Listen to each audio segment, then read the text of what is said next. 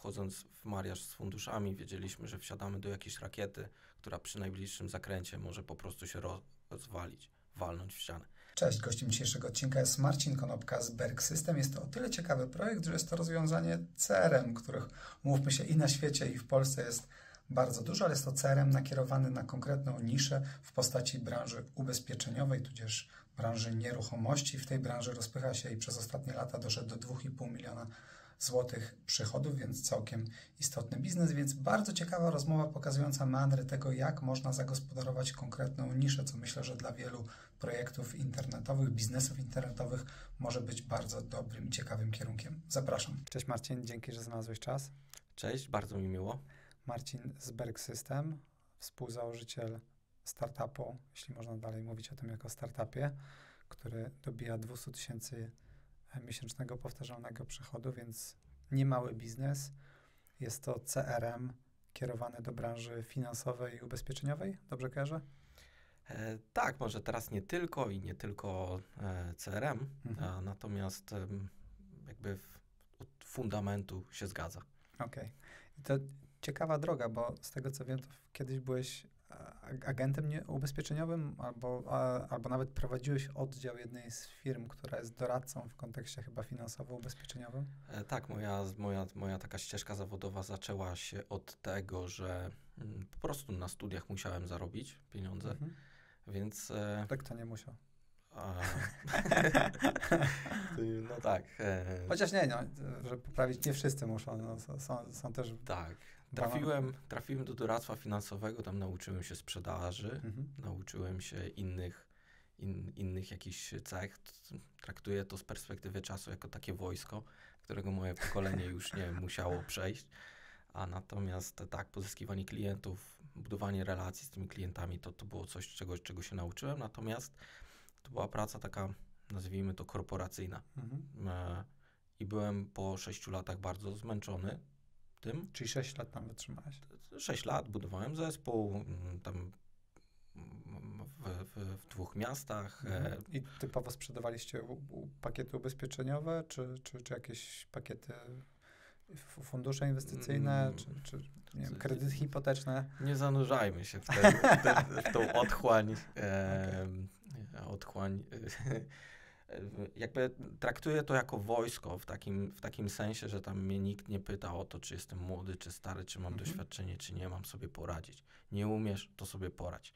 E, nie umiesz znaleźć klientów, to sobie idź znajdź. Nie umiesz zrekrutować, nie, zrekrutuj pracowników, teraz będziesz budować zespół. Koniec, kropka. Tam nikt nie pytał o to, czy mm, potrzebna mi jest jakaś pomoc, mhm. wsparcie, czy chcę się czegoś nauczyć. Naucz się po prostu to były takie szalone lata, końcówka lat 2000, jakby dużo mnie to nauczyło, natomiast nabrałem też takiego przekonania, że ja teraz mogę sam na własny rachunek zrobić to lepiej. Mhm. I wtedy, wtedy, wtedy, wtedy pojawił się Daniel i rzeczywiście myśleliśmy o Wspólnik. tym. Wspólnik. A myśleliśmy o tym, żeby taką, a powiedzmy, agencję ubezpieczeniową czy firmę doradztwa finansowego mhm. zbudować sami lepiej mądrzej. Mm, I widziałem. Czyli postawić własny oddział, tak? Tak, dokładnie tak. Ale to, to, to Zrobiliśmy była to. offline biznesu, czy online biznesu? To był offline biznes. Okay. Natomiast wiedzieliśmy, że bez nowoczesnych narzędzi, które będą wspierać działania handlowe, nie uciułamy, nie, nie pójdzie to dalej. Mhm. Bez y, narzędzi, które rozliczą na czas prowizję handlowcom, nie pójdzie to dalej. W poprzedniej mojej firmie mogłem dostać prowizję od 5 do 20 nie wiedziałem. Jako młody człowiek na działalności gospodarczej zastanawiałem się, czy zdążę zapłacić ZUS 10, czy starczy na podatek do 20. Niech Jakby... pierwsze życie kamień, to nie spóźnił się z opłatą ZUS-u. Dokładnie tak. E, I Daniel e, przez święta Wielkanocy napisał pierwszy system, który, który miał rozliczać prowizję i pokazał, w jaki sposób to może wyglądać. Natomiast, no i dalej, dalej to poszło. Chciałem, mhm. ażeby mm, długotrwałe relacje z klientem, czy taka obsługa posprzedażowa rzeczywiście była czymś, jednym ze standardów firmy, a nie tylko sloganem reklamowym. Jasne. Mm, w taki sposób zaczęliśmy, z taką ideą zaczęliśmy budować narzędzia IT do tej firmy. Mhm. Natomiast bardzo szybko koledzy, którzy tworzyli podobne firmy, podpatrzyli, co my robimy i zapytali, czy oni mogą od nas to kupić, dzierżawić, jakkolwiek.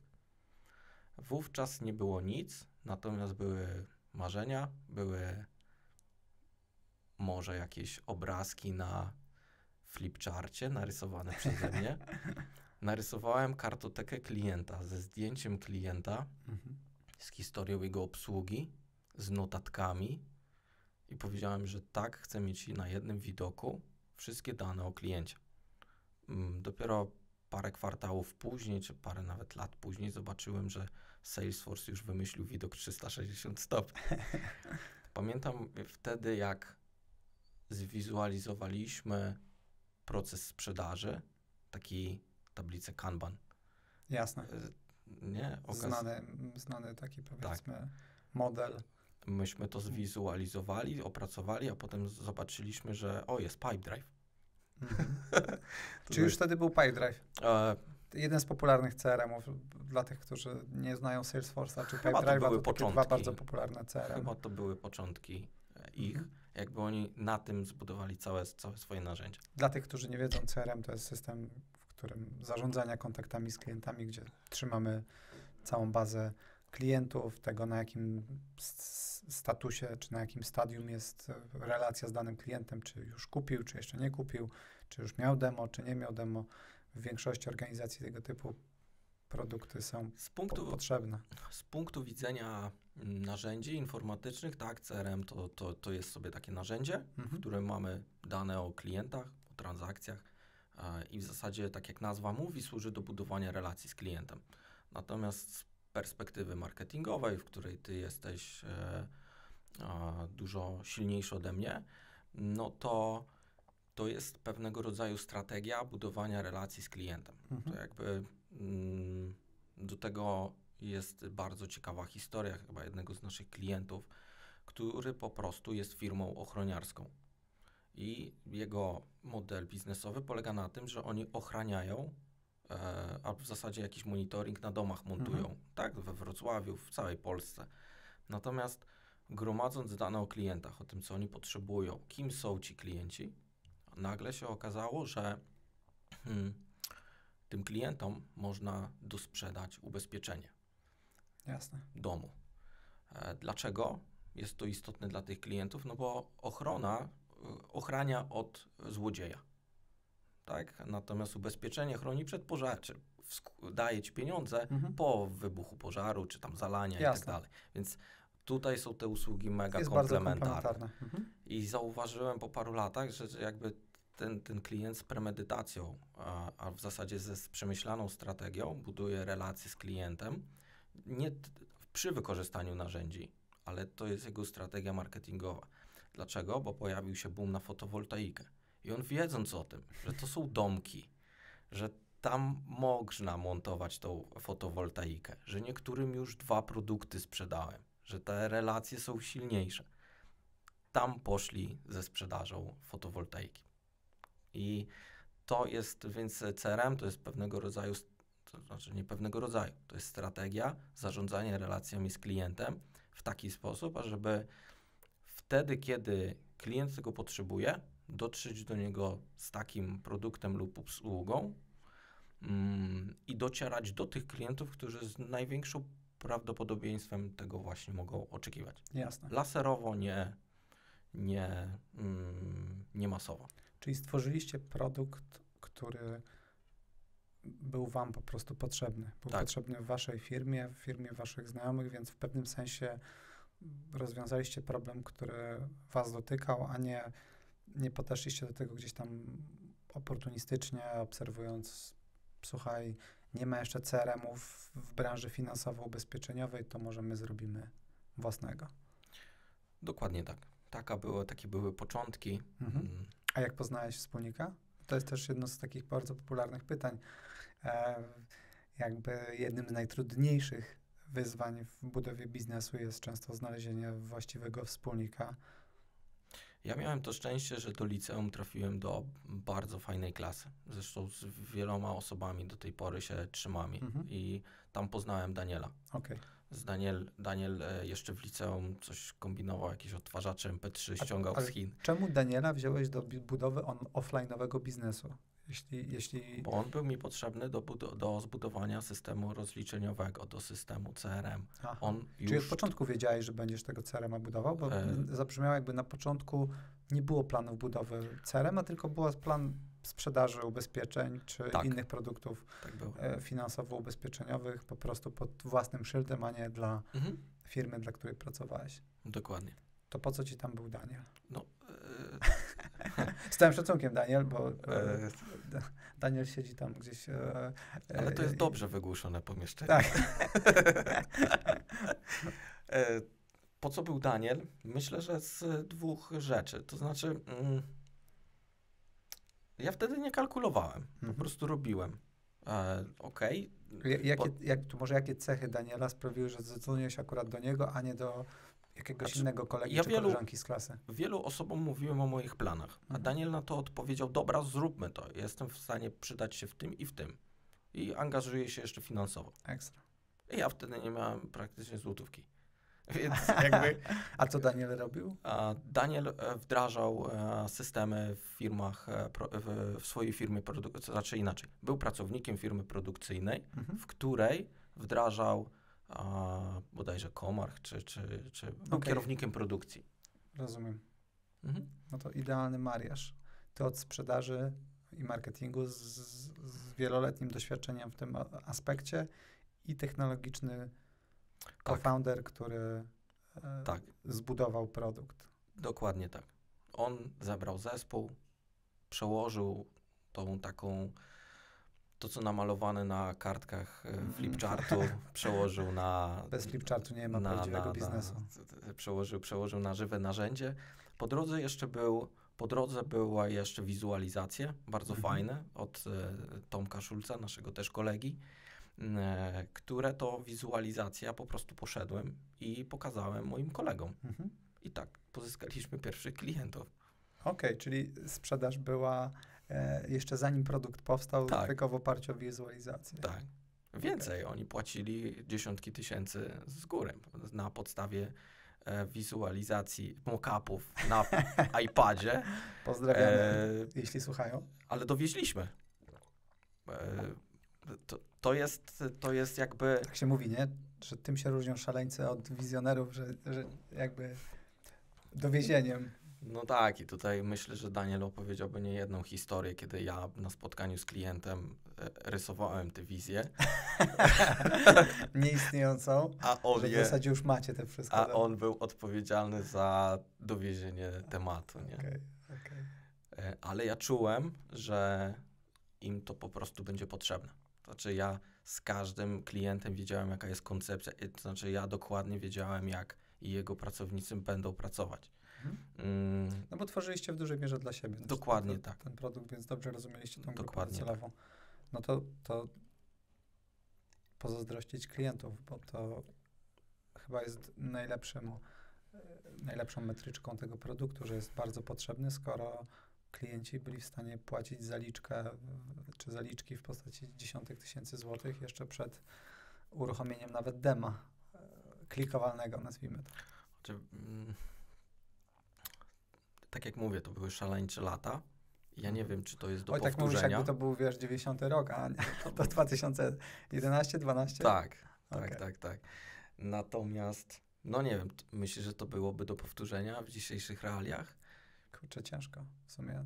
Znaczy, w, w, nawet na tamte czasy to było, było ciężko. No My, myśmy wtedy, jak zaczynali, to, to ludzie chcieli płacić oczywiście, ale chcieli płacić dopiero w momencie, w którym wypróbowali produkt. No i pamiętam chyba w 13 czy 14 roku któreś szkolenie, chyba nawet twoje, i albo, Wszystko mogę wyjaśnić. Albo- kasy. albo, albo kogoś innego. Aha, I to- wtedy to- mówił, wtedy mówił, idź, e, za, e, zanim zbudujesz produkt, idź i go sprzedaj. Jakby, jakby łatwo się mówi, Nie, to, ale myśmy, je- jestem dobrym, jest, znaczy jestem fanem tego, tego Mhm. podejścia. Jakby y, większość startupów upada bo robi dokładnie odwrotnie, bo odkłada tę sprzedaż na dalszy i dalszy plan, dopracujmy produkt, dopracujmy produkt, zanim cokolwiek pokażemy, jeszcze wypolerujmy to, jeszcze dodajmy tamtą funkcję, mhm. jeśli rozbudujmy ten moduł i powstaje najczęściej y, potworek, którego nikt nie potrzebuje. Najczęściej gdzieś po drodze nawet zapominają, co było takim rdzennym problemem, który chcieli rozwiązać, więc absolutnie zgadzam się. Sprzedawaj zanim, e, tylko jakby jestem jedynie zdziwiony tym, że ktoś już przelał kasę prze, jakby przed, e, przed dostępem do narzędzia, ale to, to tylko pozazdrościć umiejętności sprzedażowych mm. slash klientów. No, na pewno było to poparte zaufaniem, być może mhm. ich nie wiedzą. E, nie wiem, tak naprawdę. Ciężko teraz zrobić taką, tak, to jednak było ponad 10 lat temu. Nam, wiesz, bliżej do 40, pewnie tobie i mi, niż... Nie, nie wypominaj. niż, niż, niż, no nie no, no studia już były dawno. No, natomiast y, trafiliśmy w pewnym momencie na takiego klienta już większego. Mhm. z dzisiejszej perspektywy bardzo też niewielkiego. Natomiast y, on powiedział jedno: albo robicie działalność konkurencyjną, chłopaki, do mojej, albo robicie dla mnie system. Wówczas jeszcze tak ciągnęliśmy te dwie sroki za ogon. Okay. I, I, to był taki moment, w którym postawiliśmy wszystko na jedno i powiedzieliśmy, że idziemy. Nie sprzedajemy już ubezpieczeń, tylko tak. idziemy w sasa. Tak, chociaż z dzisiejszej perspektywy patrząc i tak e, nawet trochę, no nie wiem, pojadę Uberem albo Airbnb, no to dzisiaj e, z naszych narzędzi korzysta około 20 tysięcy, tam 18-20 tysięcy agentów ubezpieczeniowych i oni ubezpieczają co dziesiąte auto w Polsce. To jest, można powiedzieć, że jestem jedną z największych agencji ubezpieczeniowych wiesz, przekładając na jakby taką narrację Ubera czy, czy, czy, czy, czy, czy Airbnb. Mhm. Natomiast jakby nie czuję się, że sprzedaję ubezpieczenia nijak. No, te kilka milionów przychodu to już nie jest e, mało, już jesteś w górnym jednym procencie startupów, które e, przebiły się do tego szlachetnego grona zarabiających. Podsumowując ten okres, jakby pierwszy punkt, który, pos, pierwszy punkt, który napisałem, udało nam się nie upaść. Mhm. To jest e, i jakby się zastanowić nad tym dłużej, to jednak wiesz, cmentarz tych e, startupów, firm, mhm. my nigdy o sobie nie myśleliśmy jako startup. E, zresztą, wiesz, nie było audycji, czy też tak jak twoja, więc nie było dostępu do, do, do, do, do, do takiej wiedzy. Mhm. Był Paweł Tkaczyk, coś tam opowiadał, potem, potem też ty byłeś na konferencjach, natomiast my w ogóle nie uczestniczyliśmy w tym. W Polsce ciężko było znaleźć takie materiały w tamtych latach, tak, rzeczywiście. Tak, tak. Za granicą już rzeczywiście to, to, to, istniało, ale ciężko było to przełożyć na polskie realia. Wszystko robiliśmy na czuje. Mhm. Wszystko. To za heja i do przodu, nie? Natomiast, y, natomiast y, no ta droga jakby była usłana mocnymi wybojami. Co było najtrudniejsze? Co było takim naj, najgorszym momentem? Czy był taki moment zwątpienia, gdzie chcieliście to rzucić? Ja nie wiem, czy był taki moment, natomiast na pewno gdzieś tam też docieraliśmy z Danielem. No, mhm. Wiesz, Daniela znam dłużej jak moją żonę. On swoją, a może nawet sumarycznie. E, na pewno i jakby ten taki ten podział kompetencji, co nie jest łatwe. Mhm. Jakby na przykład chociażby ostatni przykład kanału sportowego to pokazuje, gdzie wiesz, wewnętrznie też dochodzi do, do, do pewnych mm, różnic zdań. A, delikatnie mówiąc. Delikatnie mówiąc. Mm, na pewno problemem, który był bardzo duży u nas, to była płynność finansowa. My nigdy, mhm. nigdy praktycznie nie mieliśmy zewnętrznego finansowania w postaci funduszy i tak dalej e, i musieliśmy oglądać każdą złotówkę kilkakrotnie. Natomiast e, płynność finansowa, w co, co mam w, w zamyśle, nie mieliśmy modelu biznesowego i dużo naszych pierwszych klientów oparta była sprzedaż relacyjna. Oni mhm. zaufali, że my coś dowieziemy. W związku z tym nie mieli też żadnych skrupułów, żeby nam się spóźniać z płatnością jeden, Jasne. drugi, trzeci miesiąc. I dla takiej firmy, która startuje, jeżeli klienci wiszą 200, 300 tysięcy, to jest ból. Mhm. Mm, e, to jest... O, to byłby ból nawet w, w mojej firmie myśmy nigdy takich problemów nie mieli. Myślę, u nas też byłby to ból, jakby teraz klienci wisieli 300 Czyli, 300 czyli nie zawsze działaliście w modelu prepaid. Nie. Trochę się od takiego modelu zaczęło, gdzie... Nie mieliśmy nic, Mhm. e, więc e, braliśmy jakieś pieniądze za wytworzenie tego narzędzia, plus jakiś abonament za, za, za, za utrzymanie tego narzędzia. Mhm. Totalnie nie wiedzieliśmy, nie mieliśmy modelu biznesowego zupełnie zbudowanego przez, myślę, parę jeszcze kolejnych lat e, wówczas. Natomiast mm, natomiast te, te, te, problemy z płynnością na pewno były. Wiesz, to nawet nie jest problem firmy, to też, ale to jest taki wymiar psychiczny, psychologiczny, twój, mój. Mm, Noce nieprzespane e, i, i, i, i tego typu sytuacje. No, zresztą wydaje mi się, że nie jeden założyciel firmy ma jakby może Problemy się z płynnością utożsamić przez e, klienta, który nie płaci Tak. na czas. Okej. Dlaczego nie płaci? No wiesz, Marcin, znamy się, zapłacę za miesiąc. Wiesz, że zapłacę. Ty- I ty musisz to przetłumaczyć na x rozmów z e, współpracownikami, którym musisz zapłacić nie? na czas. Nigdy nie było sytuacji, że pracownicy nie dostali pieniędzy. My nie dostaliśmy pieniędzy kilka razy, kilkanaście może nawet razy, Też przez to przeszliśmy. ale nigdy, zawsze byliśmy fair w stosunku do zespołu. No, ta firma w dużej mierze opiera się o programistów, którymi, którymi dowodzi Daniel. Mm, I na potwierdzenie tego, że zawsze jakby mm, tutaj po stronie Daniela i zarządzanie tym zespołem było, mm, było, było dobre, jest to, że jeżeli jak potrzebowaliśmy trzykrotnie zwiększyć zespół, bo się pojawiły duże kontrakty, to ten pierwszy, ci pierwsi programiści przyprowadzili nam za butelkę whisky swoich kolegów, bo u nas się dobrze pracuje. Zresztą notabene ci pracownicy też, co jest naszym takim sukcesem, mm, w międzyczasie już e, pobudowali domy, Mhm. w, więc jakby to jest dla nas sukces, e, taki, taki osobisty. Mają rodziny, były, byliśmy przy tym, jak urodziły się im dzieci, jakby mamy poczucie, że e, parę rodzin w tym kraju żyje z tego, Biznesu. z tego biznesu, jakim jest Berg System. Super. Wspomniałeś trochę o źródłach finansowania, w zasadzie braku zewnętrznego finansowania. Mówisz, że pamiętam, że w naszej rozmowie poza kamerami wspominałeś też o business angelach, którzy na pewnym etapie w, byli jakoś uczestnikami w kapitałowo Tak, w biznesie. Do tego, do tego trzeba zrobić jakiś delikatny wstęp. Mhm. Mm, Rzeczywiście od tam początku 12 roku działaliśmy tak trochę sobie sporadycznie. Daniel jeszcze pracował na etacie, Mhm. więc to wszystko robiliśmy tak trochę przy okazji. Okej. Natomiast to też wiąże się z takim fuck-upem chyba największym w naszej historii, kiedy u jednego z klientów straciliśmy dane. Totalnie. Jakby ten O. system opiera się o dane.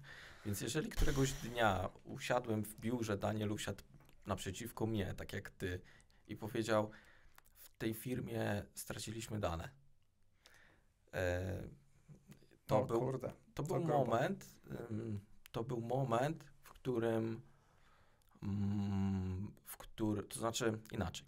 Ten moment zaprowadził nas do tego, że podjęliśmy decyzję albo w lewo, albo w prawo. Albo idziemy w profesjonalny biznes, albo będzie to takie chałupnicze, nie wiadomo co. Mhm. Więc lepiej to może zakopmy i nie traćmy na to czasu.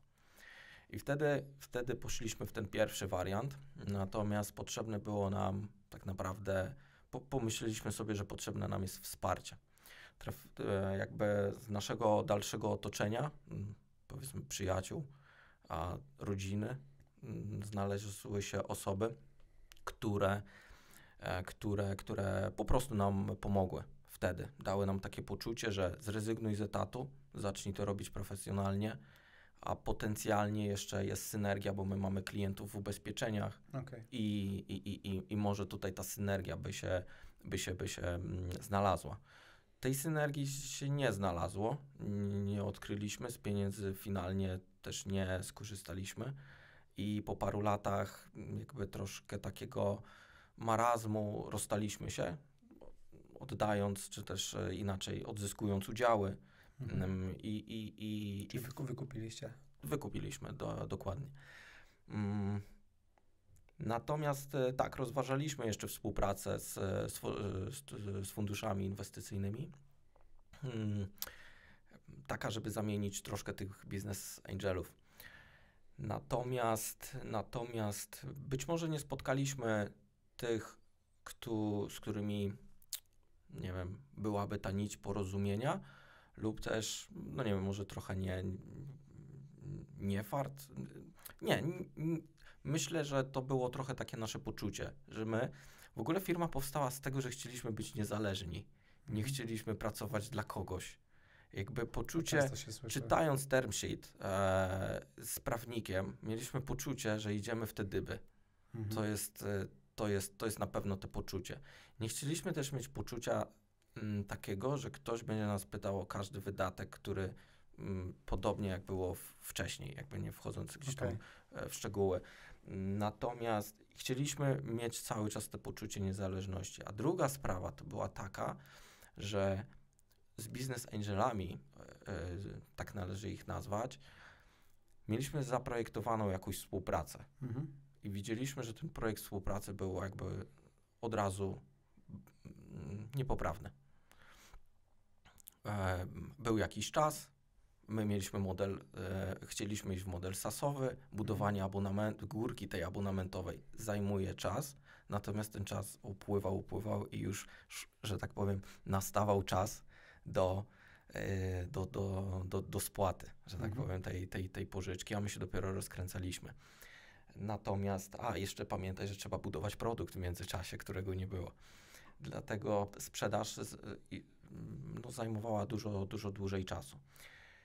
E, z funduszami, e, z funduszami też nie rozumieliśmy tej współpracy. Narysowano przed nami Mówisz projekt. o rozmowach z funduszami, które już przyszły później. Tak. Jakby po wykupie Business Angeli pomyśleliście, tak. że może jednak powinniśmy się rozwijać szybciej, może jednak warto podnieść jakąś kasę, pogadajmy z funduszami. Dokładnie. Okay. To było około 18-19 rok. Okay. E, natomiast e, wówczas e, współpraca, którą projektowaliśmy, była prosta. Mhm. Po prostu my daje, fundusz daje kasę, my rośniemy 300% rocznie. Ja pomyślałem na podstawie naszego projektu współpracy z Business Angelami, że ja tego nie czuję, nie rozumiem i chyba to się ma szansę nie udać. I co wtedy, kiedy się to nie uda? Po prostu zacząłem taką analizę ryzyka e, mhm, robić. Jasne. I wówczas w głowie nie składało mi się to, że ja będę rósł 300% rocznie, bo do tej pory udało mi, jakby wypracowałem mega dużą pracą, maksymalnie 100% rocznie. Pomyślałem sobie, co będę potrzebował, żeby urosnąć trzy razy w najbliższym roku. Na pewno większy zespół. Daniel, więcej programistów. Jasne. Mm, musimy szybciej, więcej sprzedawać. Pomyślałem, że będziemy musieli poświęcić czas około 3 miesiące, 6 miesięcy na rekrutację i onboarding pracowników. Mhm. W związku z tym na te 300% zostaje już tylko w pierwszym roku 6 miesięcy. To się nie miało szansy udać. I w perspektywie miałem wizję presji, a, ciężkich rozmów, gdzie jest wynik. Jasne. Ja już to miałem. Tak jak pracowałem. Przez 6 e, lat pracy w ubezpieczeniach. Dokładnie tak. Jasne. Po drodze jakieś. Czyli ostatecznie odrzuciliście te term sheety, które wam proponowano, czy gdzieś po prostu nie było ostatecznie... E... Rozmyło się. Rozmyło się, czując, że jakby jedna strona i druga, że to nie idzie w dobrym okay. kierunku, a to i tak była najbardziej mm, uczciwa propozycja, bo inną propozycję, powiedzmy nawet taką niemoralną, mm, usłyszeliśmy na jednym ze spotkań, gdzie zarządzający funduszem powiedział wprost, nie uda się biznes, to pierdzielimy dane. Mhm. Ja, uciekliśmy stamtąd, jakby nawet nie pamiętając nazwisk tych ludzi i chyba dobrze. Jasne. No, to jest podstawowy problem z funduszami. One, ich model działa wtedy, jeśli mierzą bardzo, bardzo wysoko. Jeśli na 10 projektów 8 nie wyjdzie, jeden wyjdzie średnio, a jeden będzie strzałem w dziesiątkę i spłaci cały fundusz razy 3, no to, mhm. to, to ma gdzieś tam mniejszą, większą rację bytu, choć akurat dotarłem też do danych, które po, podpowiadają, że większość funduszy VC nie zarabia. E, nie wiem na ile to jest e, prawdziwe, ale słuchając ostatnio takiego bardzo ciekawego materiału, który jakby rozbijał skuteczność funduszy VC i, i, i to, czy, czy jest to fa faktycznie wartościowy biznes, czy, czy biznes, który, który generuje zwroty, to, to, to, to, była taka teza, że, że jednak dużo jest, du, dużo więcej jest nieudanych funduszy niż nam się zdaje, niż, niż, niż słyszymy. I przynajmniej mnie to zawsze, my, myśmy przewinęli się przez garść funduszy, ale szczęśliwie trafialiśmy na te fundusze w momentach, w których one miały może trochę mniejsze wymagania i myśmy w te wymagania mogli się wpisać, bo, nie, bo rośliśmy tylko trzykrotnie, a nie dziesięciokrotnie. Um, a czasami to są fundusze, które może, mo, może są ok z tym, żeby coś urosło dwu, trzykrotnie przez 2-3 lata, a nie trzeba tam, wiesz, 200% rok do roku. Znaczy, kończąc e, tą, e, ten, ten wątek, to jest tak, że m, mm, trzeba pamiętać jeszcze o tym, o tej naszej etymologii. Nasi klienci nam zaufali. Mhm. Jakby my wchodząc w mariaż z funduszami, wiedzieliśmy, że wsiadamy do jakiejś rakiety, która przy najbliższym zakręcie może po prostu się rozwalić, walnąć w ścianę. Natomiast to nie jest tak, że mm, ja neguję współpracę z funduszami. Mhm. Po prostu wówczas, na tamtym etapie, ja tego nie rozumiałem. Wiele rzeczy nie rozumiałem e, w życiu e, i nadal nie rozumiem, no i trudno, jakby. Natomiast to nie jest tak, że to jest też dla każdego. Wiesz, przykład Twój, przykład y, Tidio, przykład e, Telemedico e, pokazuje, że jakby warto może zaryzykować. Zresztą wiesz, firmy zaczynaliśmy w tym samym czasie. Jesteśmy w dwóch skrajnie różnych punktach. To nie znaczy, że jesteśmy w złych, ty czy ja w punkcie. Jakby patrzę na to w innej perspektywie, takiej troszkę, nie wiem, odejdźmy w takie meandry psychologii. Idziemy na górę, ty idziesz swoją ścieżką, ja idę swoją ścieżką. Może ty idziesz trochę szybciej, ja idę trochę wolniej. Jakby, ale ja to, do tego podchodzę jak do maratonu. Mhm. Jakby to nie jest sprint i zaraz on się kończy. Myślę, że masz, masz słuszne podejście. Ja zawsze sobie powtarzałem taki cytat e, lepiej mieć 1% Coca-Coli niż 100% Hop-Coli, e, ale e, i to brzmi bardzo dobrze, ale musimy pamiętać o tym, że walka o bycie Coca-Colą odbywa się na dużo większym ryzyku niż walka o bycie hop-colą. I goniąc za byciem jednorożcem, paląc kasę e, należącą do funduszy VC, które te fundusze włożą do naszej firmy, rozwijamy się na gigantycznym ryzyku, które dla tych funduszy jest akceptowalne. Dla nich jest ok, jeśli to twój biznes się przewróci, bo mają dziewięć innych, który, z których pewnie jeden okaże się być hitem. Natomiast dla ciebie, dla mnie, te biznesy to jest nasze dziecko. Jak, jak ich nie będzie, to nic nie będzie. I więc jakby nasza skłonność do ryzyka jest fundamentalnie inna niż skłonność do ryzyka po stronie funduszy. I to jest najczęściej ten rozjazd, e, który jakby mnie zawsze to trochę, zawsze mnie to irytowało, że, że przychodzę z wzrostem 100% rok do roku i 200% na EBITDA i jestem z tego na maksa dumny. Um, I gdzieś tam od jakiegoś funduszu słyszę, że no, słodkie to. Sło, sło, znaczy, niezależnie jak duży będzie, znajdzie wzrosty. się ktoś, kto będzie tak. większy i dla, tak. dla którego, wiesz, dzisiaj... Mm, Silicon Valley, takiego serialu, który jest oczywiście mm. komediowy, ale w którym jest bardzo dużo prawdy o tym, jak wygląda świat e, startupów. Jest taki cytat, to nigdy nie będzie wystarczająco dużo. W sensie mhm. o, o, tempie wzrostu, nie? Y, dzisiaj, dzisiaj pewnie jesteśmy w takim punkcie, gdzie, no nie wiem, spółka na czysto zarobi milion złotych. Mhm. Ale jakby dla jednych to jest dużo, ale dla wielu to jest, to są jakieś okruszki, prawda? Mhm. Mm, z drugiej strony mm, tutaj należałoby też trochę polemizować, bo E, to jest tak, że jeżeli się za mocno trochę przyzwyczaimy do tych naszych dzieci, to i, i właśnie takie będziemy traktować, no to, no to potencjalnie rodzi to ze sobą jakieś, jakieś, jakieś ryzyka. Mhm. Ale masz, masz rację. Gdzieś tu ja w połowie drogi jestem i się, i się też z tym utożsamiam. I z Danielem nawet mieliśmy dzisiaj w drodze do Wrocławia taką dyskusję o tym, jak dzisiaj postrzegamy rzeczywistość. I naprawdę jesteśmy dumni z tego, że my tworzymy realną wartość. Mhm. Produkt, który bez nas mógłby dalej funkcjonować. Ludzi, to jest, to jest tak.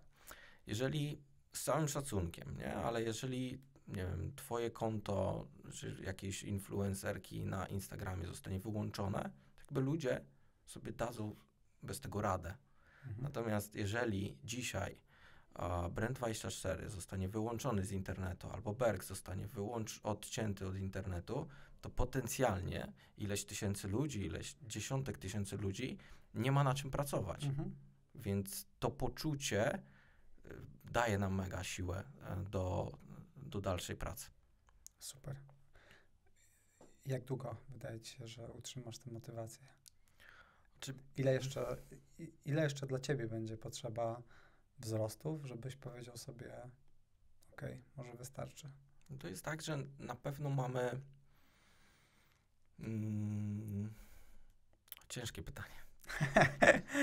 no, czasami się musi trafić jakieś ciężkie pytanie. Natomiast to też.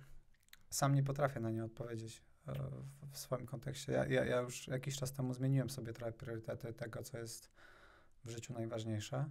Mhm. I przez pierwsze pewnie 5-7 lat rozwoju branda to brand był najważniejszy. Wszystko było podporządkowane pod to zdrowie, życie, rodzina i tak dalej. Od jakiegoś czasu to zmieniłem i, i bardzo sobie to chwalę oczywiście.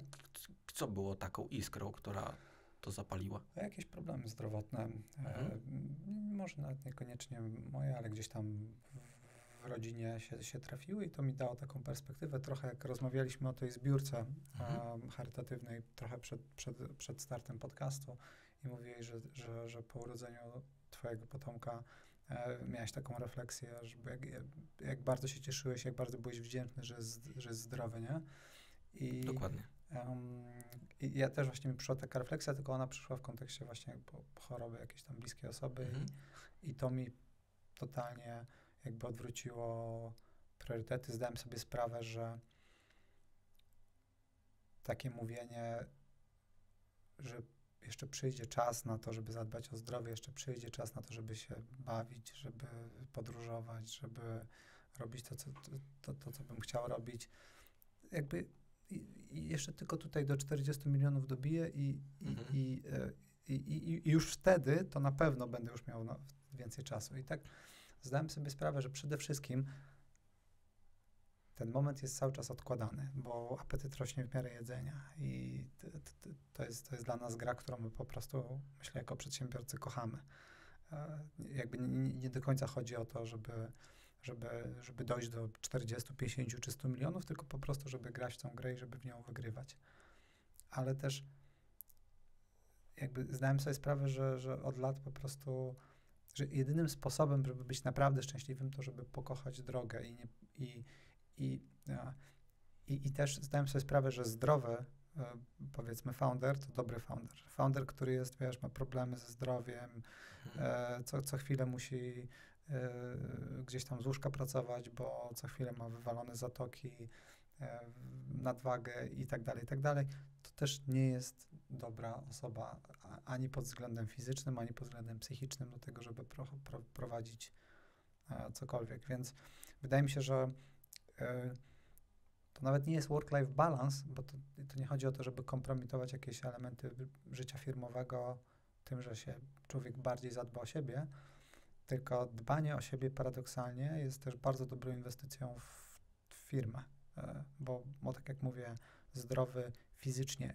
i może nawet ważniejsze psychicznie founder jest wart 10 razy tyle, co, co founder, który może i zapierdziela 14 godzin na dobę, ale w depresji i, i, i czujesz, niezbyt z dużą motywacją. Czujesz e, dzisiaj, jakby prowadząc taki zdrowy tryb życia, e, że podejmujesz w biznesie skuteczniejsze decyzje? 100%.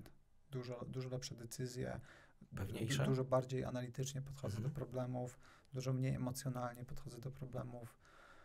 Um, po prostu czasami jak mamy jakieś, wiesz, smutne pismo od jakiejś e, organizacji, jakiś, e, jakiś potencjalny konflikt, kryzys i tak dalej. Kiedyś to przeżywałem, nie byłem w stanie spać, nie byłem w stanie jeść i tak dalej, a teraz jakby podchodzę do tego na zasadzie, wiesz, wtorek, nie? Mhm. Także widzę to na swoim przykładzie. Oczywiście to jest anegdotyczny przykład, ale wydaje mi się, że pewnie są jakieś doskonałe opracowania, które potwierdzają, że e, powiedzmy founder, który jest szczęśliwy i dobrze zmotywowany jest fundamentalnie lepszy niż e, założyciel, który e, gdzieś ledwo wiąże koniec z końcem i siedzi w tej depresji. Nie? Mhm. Mam takiego znajomego, który em, co 5 lat zabiera sobie jeden dzień z tygodnia pracującego. Tak zaczął od piątków, potem poniedziałki wyciął. Tak skraca ten tydzień pracujący, dbając o to, żeby dawał po prostu jak najwyższą jakość w tych pozostałych dniach. Bo też jest prawda, że my z, z, jakby z czasem stajemy się coraz lepsi, szybsi, mam wrażenie. Tak jak osoba, która wiem, pisze na klawiaturze, gra w, w, w nie wiem, Final Fantasy albo cokolwiek robi, z czasem staje się lepsza, efektywniejsza i tak my stajemy się lepsi, efektywniejsi w zarządzaniu spółką, więc Mhm. nawet bez tych 14-16 godzin pracy możemy robić to w sposób zarąbiście efektywny. Znaczy, też miałem jakby w 100% się pod tym podpisuję. Natomiast ostatnio też, jak wspomniałeś o tym, że Wojtek się urodził e, parę miesięcy temu, miałem Twój na początku, mój synek, tak, pierwszy, mm, jakby życie mi się totalnie, ten, ten domek z kart mi się taki organizacyjny pos, posypał Mhm. mocno. Natomiast bardzo szybko zdałem sobie sprawę z tego, że jakby trudno, to nie muszę. Mhm. Jakby nie dlatego, że yy, nie wiem, mam za dużo pieniędzy na koncie, a klienci to nie muszę się o nich starać i walą drzwiami i oknami. Po prostu są rzeczy ważne i ważniejsze. Jakby prowadzę biznes kilka lat, czy ponad 10, z mniejszymi lub większymi sukcesami. Jeżeli teraz mi przez miesiąc, dwa miesiące na 100% zaargo- zo- zaangażowanego nie będzie, to się nic nie stanie. Trudno, może jednego klienta nie pozyskamy więcej, to może lepiej i dla mnie, i dla niego. Mhm. E, to wróci. Jakby nie muszę. To jest. E, Okej, mi jest łatwiej, wiesz, bo jest gdzieś z tyłu Daniel i on na, i zespół cały i to, i to dowiezie, nie? Natomiast mm, z takim też zrozumieniem patrzymy na naszych e, pracowników. Mhm. Mm, to jest te, zdrowie psychiczne i fizyczne jest e, coraz mm, bardziej dostrzegalne. Fajnie, że o tym się coraz więcej mówi. No, to, to jest jedna z też z misji tego podcastu, aby e, przypominać o, o, o tych tematach, bo wydaje mi się, że to jest akurat rzecz, na której wszyscy wygrywają. To nie jest coś, że no dobra, to kurczę, firma musi teraz zmniejszyć efektywność i produktywność, żeby zadbać o zdrowie psychiczne pracowników. Mhm. E, no dobra, tak, taka jest moda, takie są czasy, no to musimy w to zainwestować. To tak nie działa. Jakby warto jest o to zadbać, bo ci ludzie, nawet jeśli będą pracować troszeczkę krócej, bo trochę czasu poświęcą na to, żeby zadbać o siebie, czy rozwijać się w jakiś sposób, to ta motywacja jest po prostu nie do przecenienia i No, sprawia, że pracują w pozostałym czasie, dowożą dwa razy lepsze wyniki albo dwa razy lepsze A efekty. sam korzystałeś ze wsparcia specjalistów? Tak, tak. Ja cały czas korzystam i z, z psychoterapeuty. No bo wiesz, E, przez te mm, ostatnie... Też książki bardzo mi pomogły, podcasty. Polecam Mhm. m, Marka Mansona. Ma fenomenalny kanał na YouTubie, ale też przede wszystkim jest znany jako y, y, taki powiedzmy autor ksio- książek Mhm. związanych z psychologią, e, w dużej, w dużej mierze takich książek e, nawiązujących do tematów e, szczęścia, depresji. Ma taką znaną książkę Subtelna sztuka mienia wyjebongo. Nie wiem, jak to przetłumaczyć. The Subtle Art of Not Giving a Fuck. Mhm. Ale ma też doskonały kanał na YouTubie, gdzie w zasadzie większość tych rzeczy, które są w jego książce są i gość jest przy, przy okazji zabawny. Polecam bardzo mocno. No to jest na pewno moment, w którym ja muszę też i zadbać o siebie. To jest, mhm. To jest, e, więc to na pewno, na pewno wyciągnę z dzisiejszej rozmowy. tak, zmieniacie się z, z żoną przy dziecku i zadbaj o to, żeby ona też miała, wiesz, czas na to, żeby y, zadbać o siebie, nie? Mm. Pójść na masaż, wyskoczyć do kina z koleżankami, super ważne. Dokładnie, dokładnie. Powiedz, y, mhm. wracając chwilę jeszcze do Daniela, który tutaj y, jest za ścianą i czeka. Niestety są tylko dwa mikrofony, więc Daniel się nie załapał na dzisiejszą rozmowę, ale jest takim, taką szarą eminencją, e, która się przez nią przewija. Czy wy ze wspólnikiem jesteście bardziej podobni do siebie, czy, mm, czy się dopełniacie? W, czy, czy, czy jakby... Um, dlaczego pytam? Bo, bo, bo wyglądacie bardzo podobnie, znaczy brzmicie bardzo podobnie jak ja i mój wspólnik. E, Wiesz, myślę, że się różnimy mocno od siebie, ale te różnice się zacierają wraz z latami, jak pracujemy. To mhm. znaczy, dostrzegam, ja byłem typem, powiedzmy, sprzedawcy, Daniel typem, jak zaczynaliśmy, typem osoby, która, jakby to powiedzieć, jest za pan brat z Excelem. I na, nie, na jednym ze spotkań ktoś powiedział serce i mózg. Była mhm. kiedyś taka kampania chyba. Tak jest, Orange. Orange'a.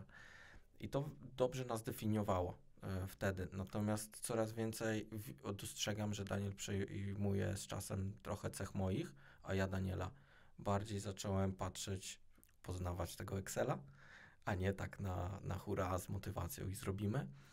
Bardziej, bardziej być może opierać się o dane, tak bardziej, no nie wiem, wydorośliliśmy, dojrzeliśmy.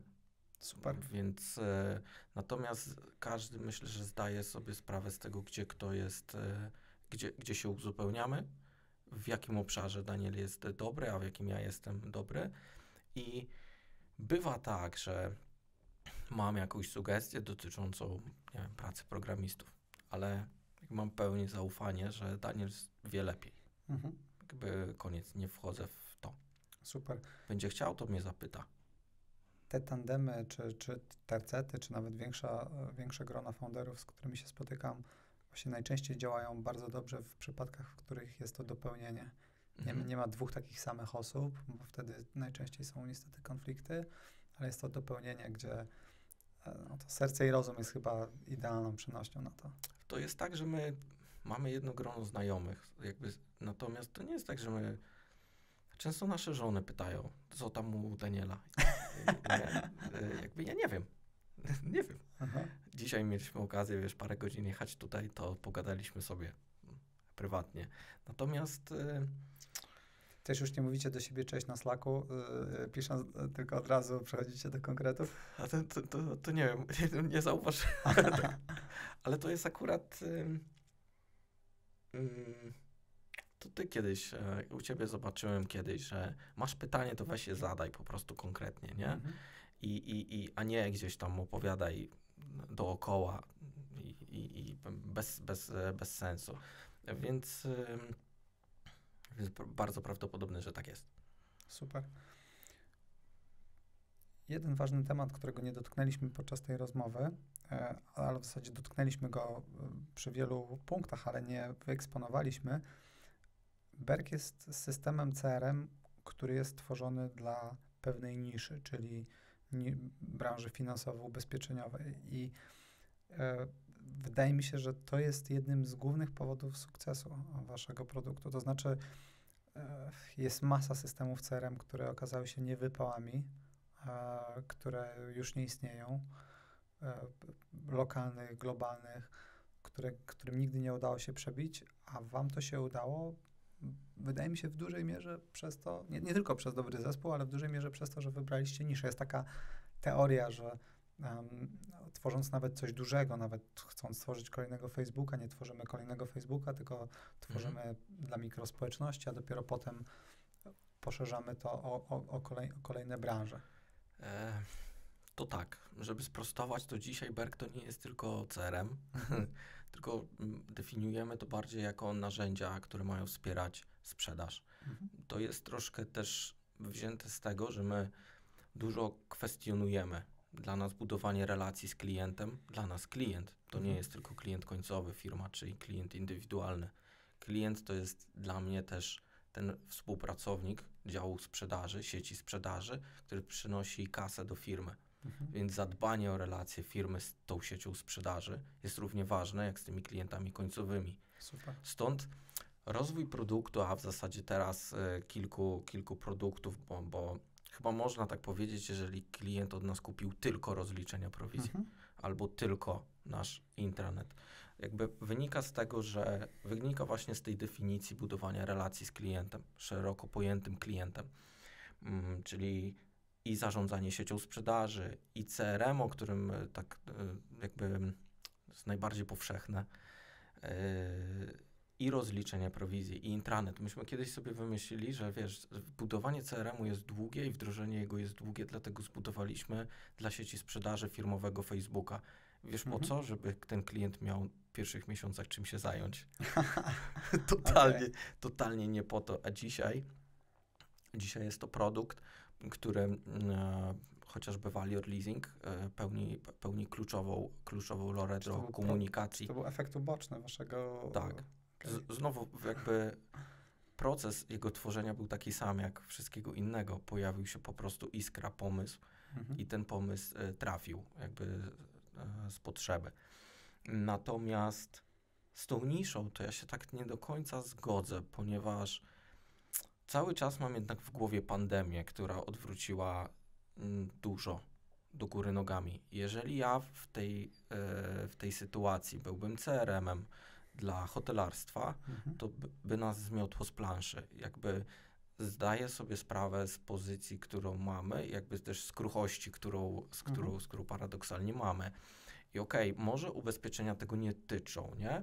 No dobrze, ale hipotetycznie, jeżeli państwo udostępni w aplikacji obywatel kupno ubezpieczenia online, to i agent może być niepotrzebny. Mhm. Zresztą agent ubezpieczeniowy jest na liście jednych z tych zawodów, które potencjalnie w przyszłości mogą nie funkcjonować. W związku z tym, w związku z tym, a, No, Tutaj ryzyka. Tutaj Tylko, jakby. W każdym biznesie są ryzyka. Jakby jak zajrzysz sobie naszego prospektu emisyjnego, to tych ryzyk jest od groma także w brandzie. I e, moglibyśmy nawet zajrzeć pewnie a propos tego przykładu CRM-a dla branży hotelowej, no to Profit Room, którego jakiś czas temu chyba R22 przejęło, Mhm. no to nie wiem, czy w, czy w pandemii oni faktycznie em, im, im, im to, ten biznes jakoś mocno, mocno dostał. E. Może, może jakiś tam strzał był, ale a, akurat systemy CRM wydają mi się takim typem produktu, z którego rezygnujesz na koniec. W sensie firmy przycinały marketing, zgoda, pewnie Mhm. przycinały jakiś outsourcing tego czy owego, ale systemy CRM to są tak rdzenne systemy, z których organizacjom jest wręcz ciężko zrezygnować, bo mają tam wszystkie swoje dane, wszystkie informacje o klientach. Budując obecnie narzędzie i myśląc o jakby dalszych e, fazach jego rozwoju, myślimy o pewnych synergiach. Mhm. Tak jak ten przykład firmy ochroniarskiej.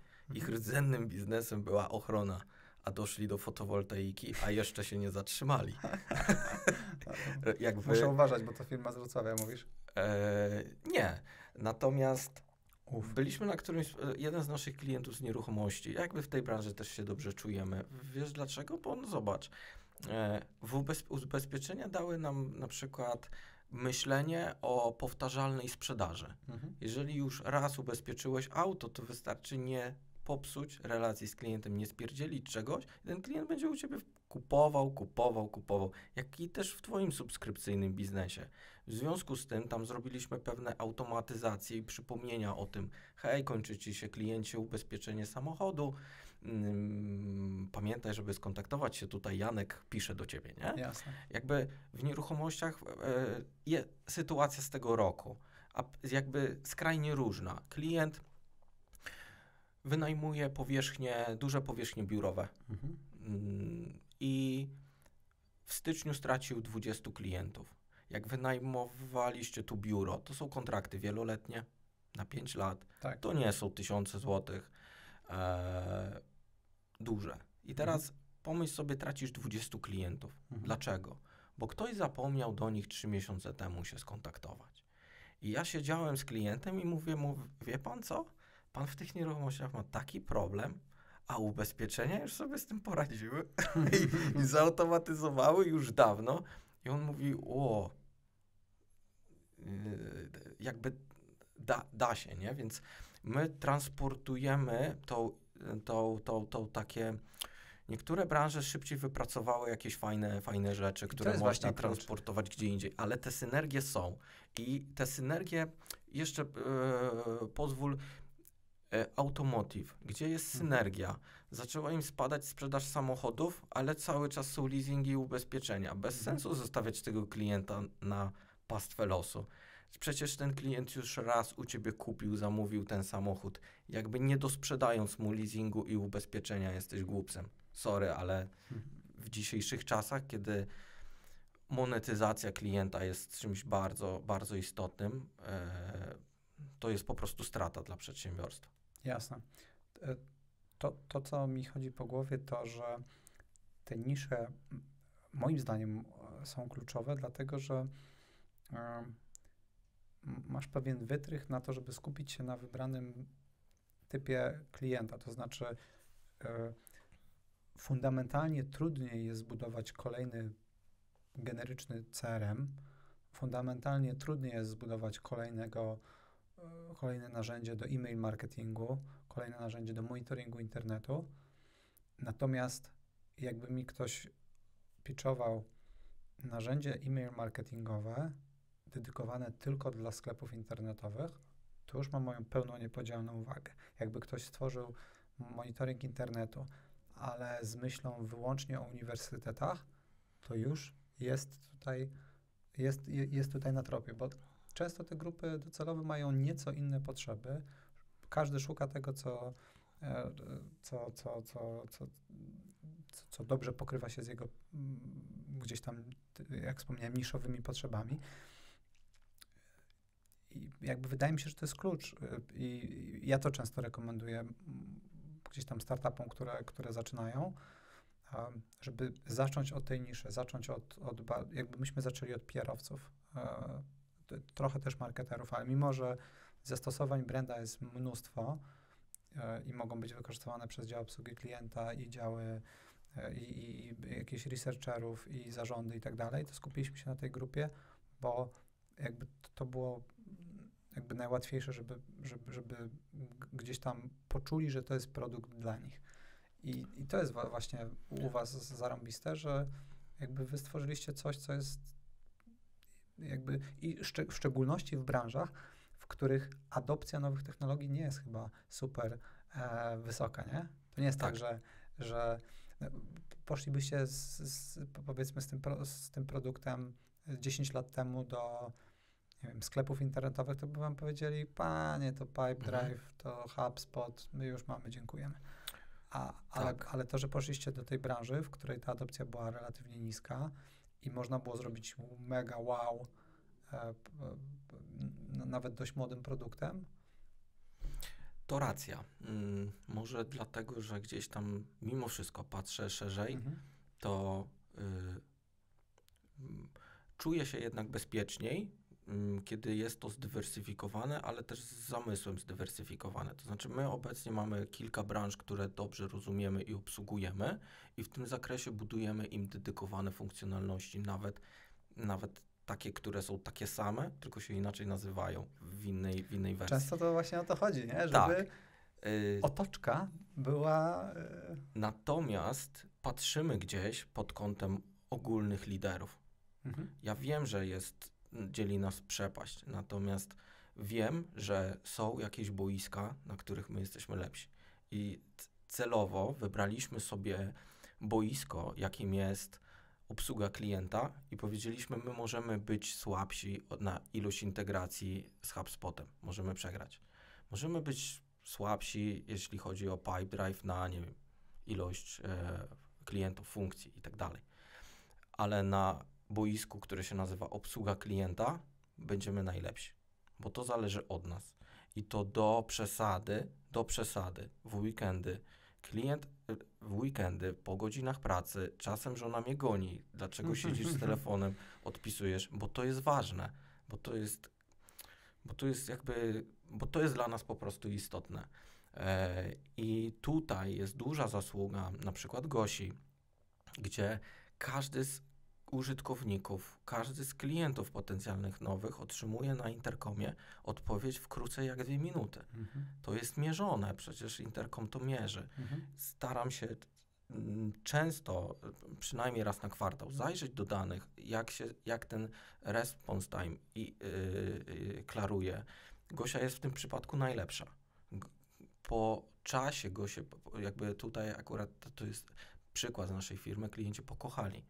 I do tego stopnia, że jak ja zacząłem się kontaktować z klientami pod nieobecność Gosi, to oni nie chcieli ze mną rozmawiać i to było mega przyjemne. Natomiast mm, a, Sorki. staram się też staram się patrzeć też, wiesz, gdzie mm, dużo, dużo, dużo, jakby nie tracić nie tracić z, ze wzroku no, tych ogólnych graczy, którzy Mhm. są ok, dobrzy do wszystkiego. Ja wiem, że jak oni tam, nawet e, polski Livespace stara się wejść gdzieś tam kiedyś, starał się do ubezpieczeń wejść, klienci do mnie zaczęli dzwonić. Ja wiem, że my wygramy. E, Jakby śmiało próbujcie. Mhm. Nie, bo wiem, gdzie są nasze przewagi.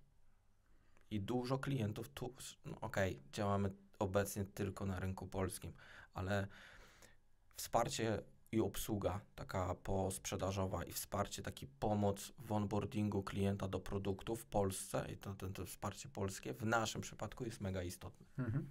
Jakby oni tego nie zrobią z, z, z, tak dobrze jak my, ze znajomością branży, tych naszych wertykali. No, pewnie nie pracowali 6 Eee. lat tak jak ty w, w tym segmencie. No, dokładnie. Super. Marcin, wyszła bardzo fajna rozmowa. Mowa, dużo mięsa, bardzo cenne porady związane z tym, jak zagospodarować sobie niszę w wybranej dziedzinie, jak rozbujać polski biznes bez finansowania, jak dojść do kwot kilku milionów złotych, jak wspomniałeś, milionów zysków. Także mega szacun. Trzymam kciuki za dalszą ekspansję, z tego co wiem, to globalną. No i za jakiś czas pewnie zaproszę ponownie, żebyś o niej opowiedział. Ja bardzo dziękuję, było mi bardzo miło. Też od Ciebie się dowiedziałem aspektów, chociażby tych zdrowotnych, o które m, myślę, że też muszę zadbać i nie zapominać o tym. Super. Dzięki bardzo. Polecam się na przyszłość.